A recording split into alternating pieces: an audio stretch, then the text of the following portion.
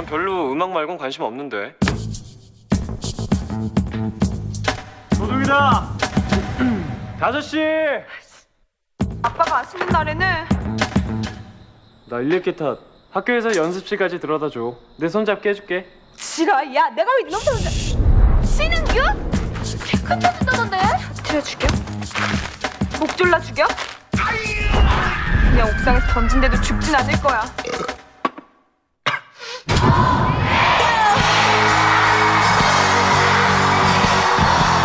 내가 눈이 얼마나 높은 줄 알아? 혹시 눈높이 낮출 생각 없냐?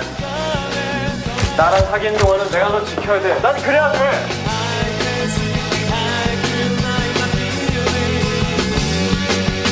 희원이다. 왔어?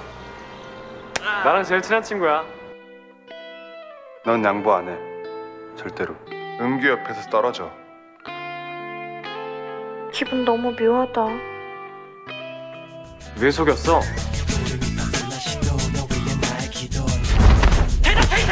내가 너무 이기적이었대 왜?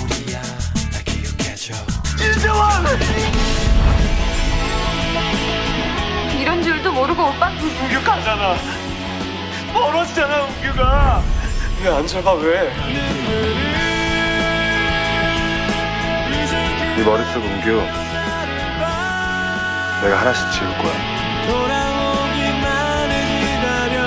근데 얘가 얘를 떠났어. 기억하고 싶지 않은 것에 대해서 이 굳게 마음을 닫고 있어요.